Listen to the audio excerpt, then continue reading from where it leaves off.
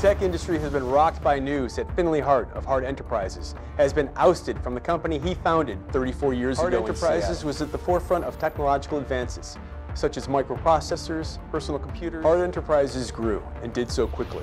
And in the 1980s, moved their headquarters to a sprawling campus in Northern California. Shocking new allegations from a former developer of Hart Enterprises, who claims some familiarity with He is survived by his sister Rebecca and his son Samuel Hart.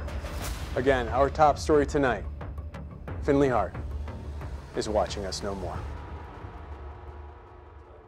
Thank you for coming. Write this down. 911 emergency. My wife, my wife's dead. How do you know she's dead? What is this?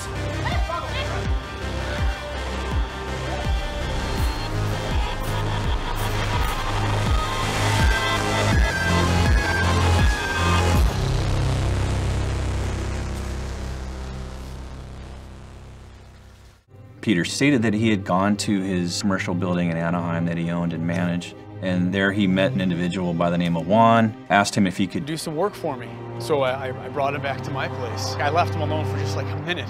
And he never even asked about the kids, which we thought was odd. As he would tell him the story, he appeared to be crying, but there were no tears. Because I, I didn't, I, I, didn't want to, I didn't, I didn't, I didn't want to tussle with him.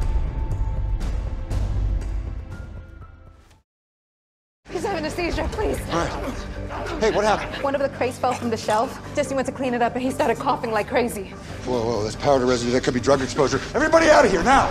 Let's go. He's got fluid, difficulty breathing. Looks like opiates. Could be fentanyl. Come on. Need to hit him with an Narcan. Administering Narcan now. Hmm, is Jesse gonna be okay? Narcan blocks opiates in the system. It should help. It's not working. All right, administering second dose.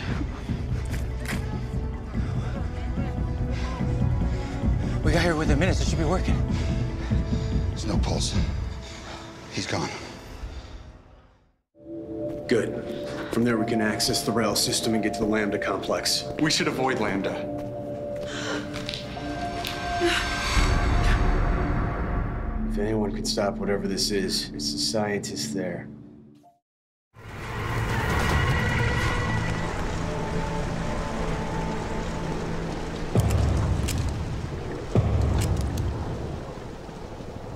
They didn't pick up a body, they dropped it. The radio. It's a trap.